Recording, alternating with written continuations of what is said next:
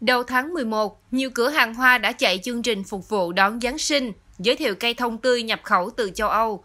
Giá mỗi cây thông tươi phụ thuộc vào chiều cao. Cây nhỏ từ 1 đến 1,25 m giá khoảng 3,3 triệu đồng. Cây cao từ 2 đến 2,25 m có giá 7,3 triệu đồng.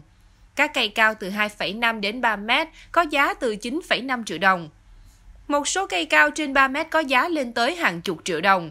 Khách chuộng nhất loại thông tươi khoảng 1,5 m do kích thước nhỏ gọn, dễ trang trí.